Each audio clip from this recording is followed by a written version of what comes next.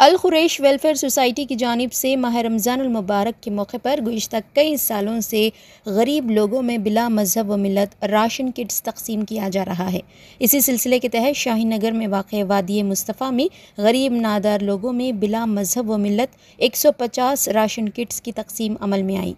इस मौके पर चेयरमैन आदिल अल खुरैशी सदर अब्दुल्ला अल खुरैशी सेक्रेटरी खालिद अल खुरैशी मोहम्मद मुजम्मिल के अलावा दीगर भी मौजूद थे।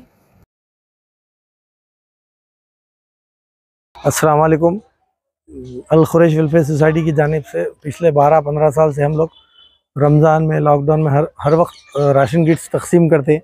आज भी शाहीन नगर में हमेशा करते हैं हम लोग। पिछले आठ साल से कर रहे हैं यहाँ पे। आज भी 150 राशन किट्स तकसीम किए पूरे गरीब लोगों में, हिंदू, मुस्लिम सब में। हमारे महमूद सैयद महमूद, अहमद साहब का भी ताउन है इसके अंदर। अलहमदिल्ला जीवा भाई का भी है। इन फ्राइडे के दिन गौस नगर में, संडे किशन बाग फिर ट्यूसडे होशनगर नगर फिर इधर भी करेंगे। एक दस प्रोग्राम है इंशाल्लाह आज कहाँ पर? शाहीन नगर तो क्या है? वादिया मुस्तफ़ा। शाहीन नगर के अंदर। टोटल कितने one fifty ration thank you